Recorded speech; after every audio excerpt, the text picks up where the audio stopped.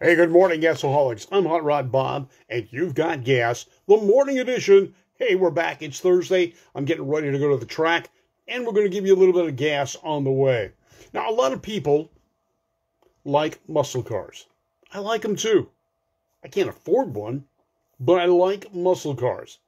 And when it comes down to, well, I want the image of the muscle car, or I want to drive a muscle car, maybe not as a daily driver. They tend to be a little bit fuelish, but you can build a car that resembles a very expensive muscle car for a lot less than what you might think and what a real muscle car would cost. And when I say a real muscle car, I'm talking about GTOs, GTO Judges, SS 396s, SS 454s, the Roadrunners, the Dodge Chargers, the cars we know as iconic machines that are muscle cars, true muscle cars. Now, someone tells you a Mustang's a muscle car. They didn't grow up when the Mustangs were really first introduced and popular. Those were pony cars. Now, I'm going to give you a few of those into this mix only because they're popular. But when we talk about Dodge and muscle cars, today they think about Dodge Chargers today, the four doors. It's a mommy machine. All right, it's fast. You got supercharged Hemis as options, but can you plunk down fifty, sixty, seventy thousand dollars for a new car? I sure can't. Can you put down seventy thousand dollars on a nice vintage Hemi powered Dodge Charger? No, I sure can't. But there are alternatives. And let's start out with an alternative to a Mustang. Now, yeah, you're talking Camaros, they're expensive. Firebirds, they're going up in value. But what has stayed pretty constant and is relatively inexpensive when you find them is Ford Mustang's counterpart, its kissing cousin, the Mercury Cougar. Now, the Cougar was a more luxurious version of the Mustang. It sat on the same basic platform, but it was a little bit longer, giving a better ride. There was nothing visually shared with the Mustang, which makes it quite unique. It was more of a luxurious vehicle, but it had the same engine options. And in many cases, they were probably more percentage wise outfitted with big blocks than the equivalent Mustang. Now, the first Cougars came out in 1967. Mercury was behind the eight ball. It took them a while to catch up with their Ford division. And they came out about the same time the Camaro and the Firebird came out. But they are less expensive. Why? Well, they didn't have a performance image like the Mustang did. So if you're into a pony car and you want something that's still relatively affordable, seek out the Cougar. The XR7 with the big block, dynamite. The Eliminator 351, 429 Cobra jets. They had them all in the Cougar. So look for a Cougar. They started out in 1967. Hideaway headlights, clean, smooth lines. lines. They rode better. Again, they had a longer wheelbase. Good morning, Don. Hi, Scott. How are you? And Yvonne. But they are cool cars. I think they drive a whole lot better. And Dan Gurney used them in the Trans Am series. They were quite effective and they were winners back then. Now, they only produced about 27,000 of the XR7 model, which was their performance image vehicle, but only 2,600 of them came with the GT package that made them even more fun. Hi, Rebecca, how are you? So, but under $20,000, you've got yourself a nice pony car. Pony car, remember, guys? Long hood, short deck, pony car based on the popularity of the Mustang. Not a muscle car. I don't care what engine's in it. It's a pony car. All right, the next car on the list. Now, these weren't necessarily considered muscle cars, but with the L79 option, the Nova became a hot rod. 350 horsepower, 327. What's the difference between a L79 and a 283 Nova? The engine size. There's nothing externally other than a badge that indicates it's a more muscular vehicle. And 327s, well, they're hard to find. They're two bolt main. they put out some good horsepower. They're high revers, but a 350 crate motor put into a 1962 to 1965 first gen Nova? Maybe. You got yourself a nice muscular compact car. And parts are available from various manufacturers for them. You could really build these things up and have fun. Novas are probably as popular as the Tri 5 Chevys were to my generation. Although a lot of guys have these first gen Novas. Now there's two variations of the first gen Nova. The first body style, coming out in 1962, stayed in production through 1965. Although on the same chassis, it was different. The different body style for the 66 and 67 Novas. Those are first gen Novas, mechanically identical. The base engine on those Novas was a 153 cubic inch four cylinder engine. Try and find one of those. Eh, tough, but can be done. Good morning, Juan Reyes. How are you doing? I hope you're working and having fun. Morning, Craig. Craig Heidenthal, Service Tech Equipment, one of the people that helps bring gas to you each and every day. All right, so the Chevrolet Nova is an opportunity for you, and they were produced for many, many years. The more expensive ones are the second gen, from 1970 on, or 1968 on. Those get real expensive, but they can still be found. It's still an alternative. Yenko stripes are available. You can slap those on. Big blocks fit in there. No problem. Make your own muscle car. The look is the same. Are you worried about driving a clone that looks like what a muscle car of the day did? I'm not. I'm not going to profess it's the real thing either, but I can enjoy it. All right, the next car on the list, the Ford Falcon. Now, that was the counterpart to Chevy's Nova, and actually, it came out long before the Nova did. The Falcon was introduced in 1959, did not get a V8 till 1963, although the Nova didn't get one until 64.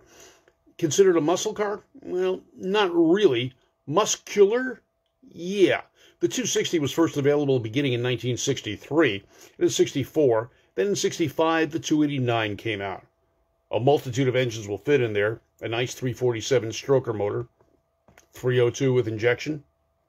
Makes these little Falcons real muscular. It's a compact car, and someone may call it a muscle car if it's got the horsepower, but in reality, it's still a compact car with muscular features. Shelby raced the Falcon before he got the Mustangs. Check it out. They ran in Trans Am and in Europe, in the Mille Miglia. So the Falcon Sprint is the high dollar one, but What's the difference between a Falcon Sprint and a standard Falcon? Trim pieces. Will the V8s fit? You betcha. Are there a multitude of suspensions available for these cars to upgrade them? Oh, yeah. Everything that fits a Mustang will fit the Falcon. And you can have fun with a Falcon just like a Mustang. And it's a lot cheaper than a Mustang. And there's a strong club, national club, that you can join. I started the SoCal division many years ago with my wife, Peg. It's out there. Have some fun. It's an inexpensive way to get into the muscular hobby. Now, you see, you've always had your heart set on a GTO, but you really can't afford those GTO $50,000 price tags they've got out there now. Well, one of the ways to do it is the Pontiac Tempest. What's the difference between a Tempest and a GTO? Some trim pieces, maybe the tail light, the front bumper on some of the later ones. But the Pontiac Tempest will take all of the upgrades that you can put on a GTO. From the outside, it's a GTO. Don't put the badges on it. You're faking it. You're calling it a clone. But can you upgrade a Tempest or a Le Mans to be as muscular as a GTO? Oh, hell yeah. And you can do it for a lot less than the cost of a GTO itself. So, the Tempest Le Mans. Now, the Tempest first came out as a compact car when Generous Motors introduced their first compact lines back in the early 1960s. In 1964, though, Generous Motors decided to move them up and take away the compacts from Oldsmobile, Buick, and Pontiac. They made them mid-size cars, using the same basic platform that the 64 Chevelle was on. Chevy got to keep the Nova and the Corvair. They had two compact cars. The other divisions didn't keep them. When the first Pontiac Tempest came out in 1961, it had a Corvair style rear transaxle. It still had the engine up front. The first Tempests were powered by a four cylinder, basically half a 389 engine. Powerful? Mm, 160 horsepower on the four barrel version. Base engine was 120 or 130 horsepower, but the 326 V8 was an option. And then they moved up scale. In 1964, became a mid-size car. The difference between a 64 Tempest and a 64 GTO, taillights, some trim pieces, the inset in the dashboard, the hood, and a 389 engine. If you look at the VIN number, doesn't tell you it's a GTO. It will say it's a Le Mans GTO because the GTO was a trim option and engine option, not a separate model in 1964. So, could you upgrade a Tempest all the way through the 70s into a GTO status? Sure, it's easy. And a multitude of engines will fit under that en- engine compartment or in the engine compartment. So the Pontiac Le Mans Pontiac Tempest, a great way to get a muscular looking car that gives you the image of the GTOs. Now Dodge Chargers is, was put on this list for some reason. I'm not quite sure why. They're really unaffordable. Uh, you can find the later ones, the smogged out ones, two doors I'm talking about. To me, the four door Charger's a nice car. It's just not a Charger to me. All Chargers to me were two doors. The first one, the 66, 67s, are my favorite. Those are the long, fastback roof Dodge Chargers with the hideaway headlights, built on the same chassis as the Coronet. Now, I like those cars, especially the 66 with its four bucket seats, but those are made of unobtainium. There weren't that many made to start with, and they're very expensive if you can find one. The later model, big bumper cars, the two doors, they got heavy, they got a little rounded. You can find them. Are they a bad buy? No, not in this market. If you can get one and get one good, go for it. Again, the multitude of Mopar motors that can be swapped in there, you can have yourself one heck of a nice muscle car, and a lot of the performance trim options are available in reproduction for you.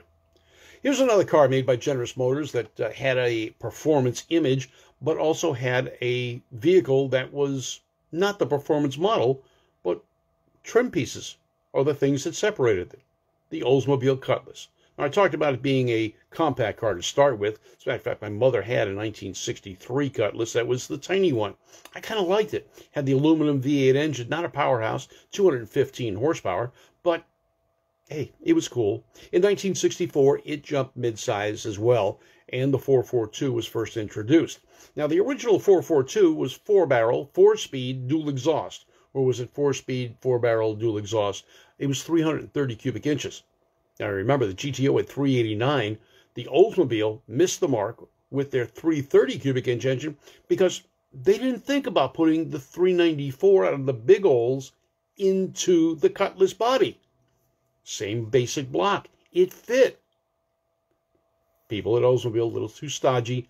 They caught on the following year, and the 442 became a 400 cubic inch engine when all the divisions complained to GM Corporate that, well, Pontiac did it, why can't we? So they did.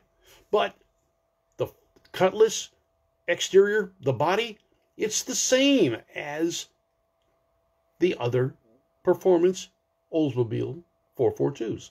Don, Don Cood saying DeLorean responsible for for wigging out the GTO. Yes, he was.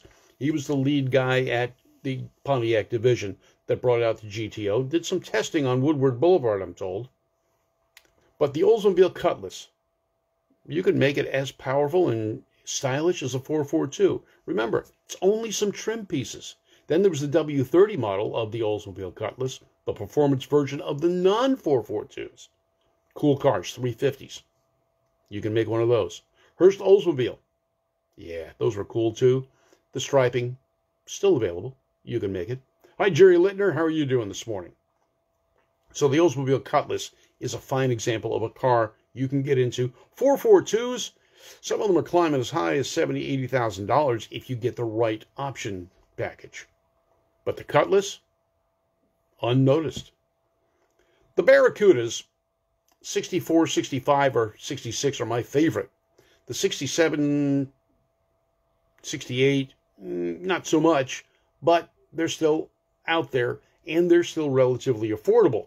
Now, with the stock 273s, they came with not real powerful at 235 horsepower in the four barrel version. They weren't real powerhouses. Now, the Mustang started the pony car craze, but it wasn't the first pony car to come out. The Barracuda actually beat the Mustang to market by two weeks. The problem was nobody noticed because Ford had blanketed the airwaves and the magazines with advertising promoting the new Mustang. So the Barracuda kind of went unnoticed, even though it came out first. And it's still a popular car and affordable.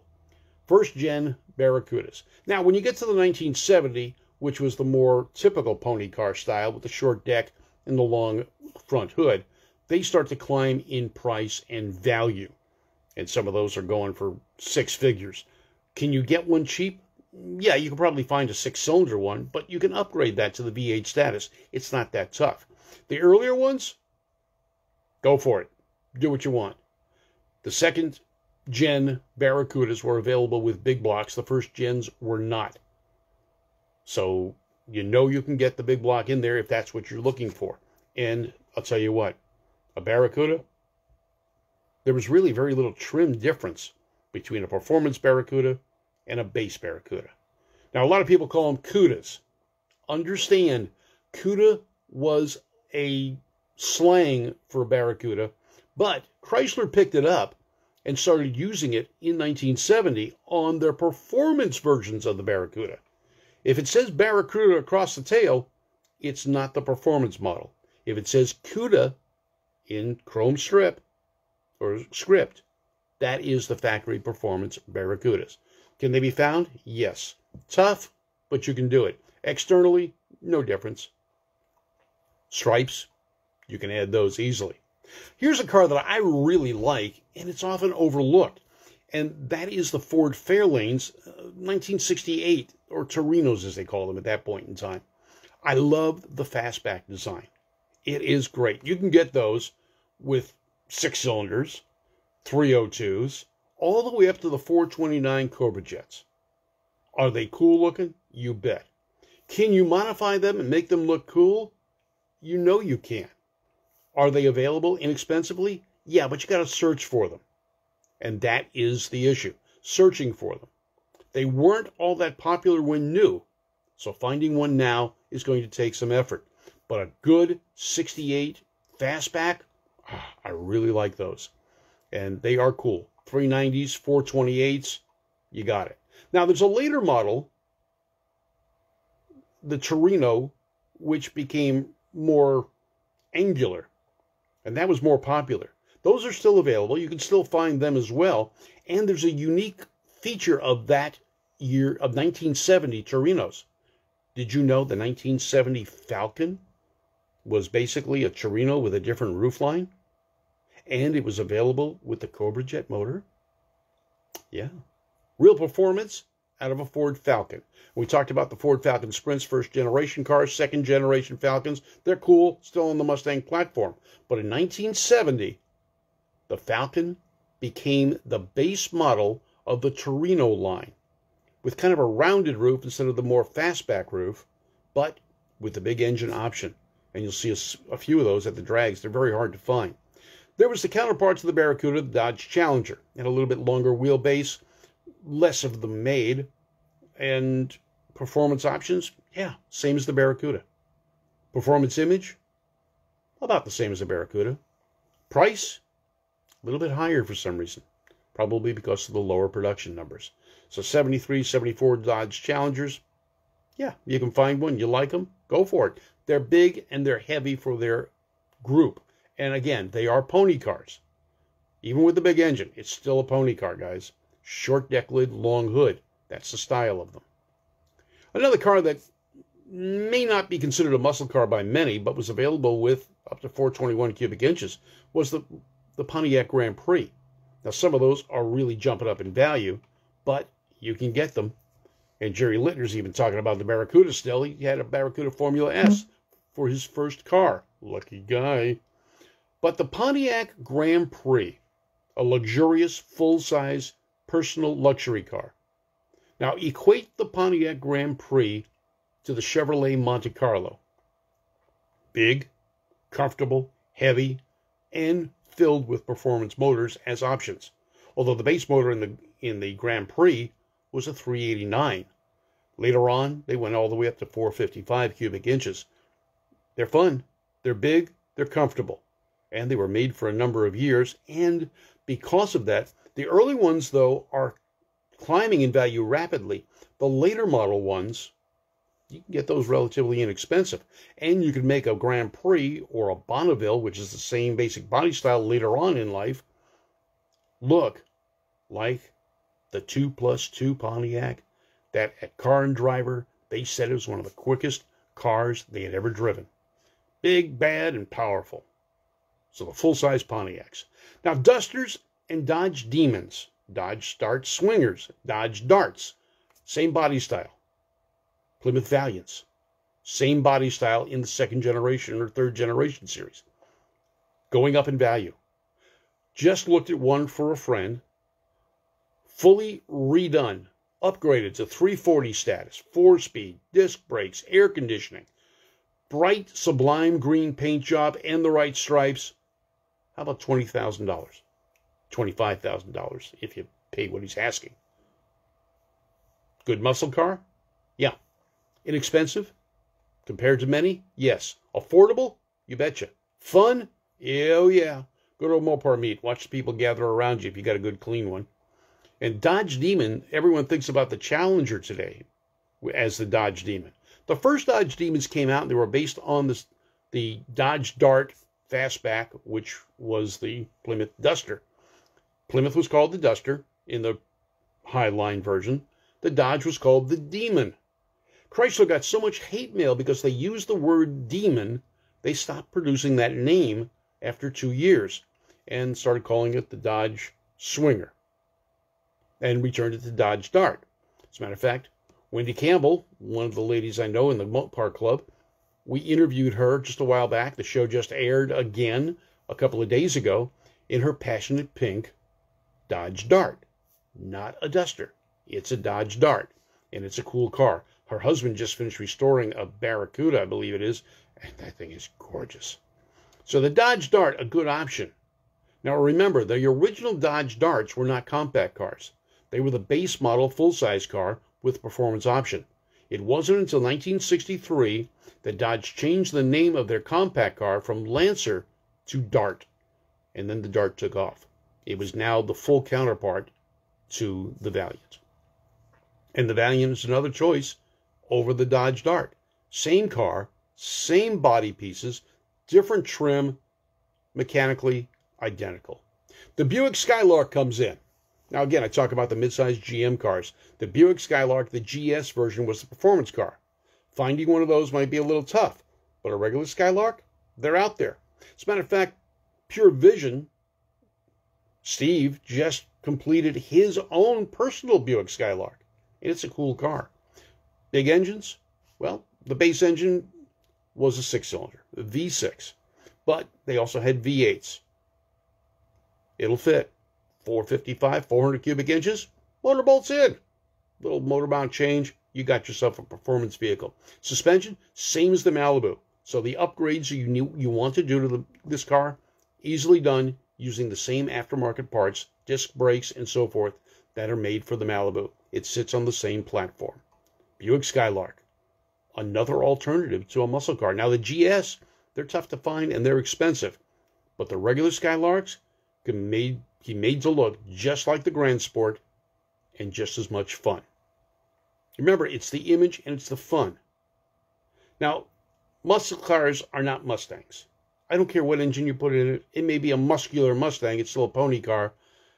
The Fox body Mustangs beginning in 1979 are affordable and highly upgradable. Check it out. I mean, I can talk about the Mustang all day, but check out those Mustangs, 79 and later. The Fox body cars, it's a misnomer. It's actually the chassis design was the engineering code Fox, but there is a car you can do. Candy Larson's talking about the Pontiac Acadian. Considered a muscle car? Well, in Canada, yeah, kind of, but it depends on which Acadian you're looking at. Some of the Acadians were based on the Nova. And I've seen an Acadian that was based on a Chevelle. But they were Pontiacs, different trim. All right, let's get away from the Camaros and the Mustangs. Those are our pony cars, Firebirds, pony cars. But let's go into something else the Monte Carlo. Now, here's a personal luxury vehicle that Chevrolet came out with, and they were available, no six cylinders at first, 400 cubic inch small blocks, and then 454 cubic inch big blocks, and 400 inch, 402 cubic inch big blocks as well.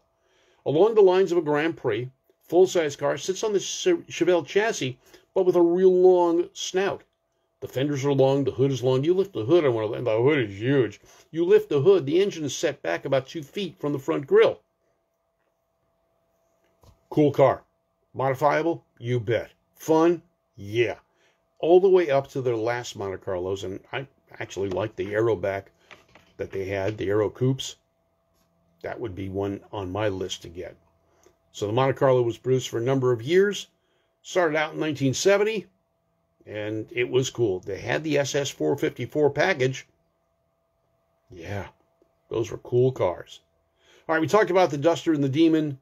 Those are cool. Again, kissing cousin cars. Very little difference externally from them. I, I talked about the Mustang. I'm going to drop the Mustang, but the Capri, the American Capri, was a Mustang with fender flares, and it's available less expensively than the Mustang. Comets. Now, the Comet was the kissing cousin to the Ford Falcon, and it was the same car until 1969. And in 1969, the Comet became the kissing cousin to the Maverick, the Ford Maverick. Now, Mavericks are going crazy value wise. I had one, as a matter of fact, I just posted it on my page, and I can't afford to buy one of those anymore. But the Mercury version, not as popular exactly the same car except for the hood and the grill and the bumper. Engine. Oh, someone's trying to. We'll decline that. So hmm. anyway, the Mercury Comet started out as the kissing cousin of the Falcon. Later on, became a variation of the Maverick. I like the taillights better. That's about it. It's the same car. You really want a Maverick, but you can only afford a Comet? Change the hood and the grill. You got it. Chevelles, well, they're climbing. They're difficult to find inexpensively. But a non SS, what's the difference? Trim pieces? Yeah, the VIN number is going to tell you it's not an SS. Okay. Malibus. Chevelles. Chevelle Model 300 sedans. Lighter weight sedan model, not a hardtop. Cool. They're going up in value as well. All Chevelles, 1964 on. The last Chevelles, built in the 80s. They're cool. They're interesting cars. Here's a car that's considered somewhat of a muscle car and can be found cheap. The Shelby GLH goes like hell. Front wheel drive, turbocharged Mitsubishi powered compact Mopar they're ripping off excellent times at the drag strip and still get you 30 miles per gallon. All right, I've taken up enough of your time. Mopars, muscle cars, Oldsmobiles, Buicks. Look for something different.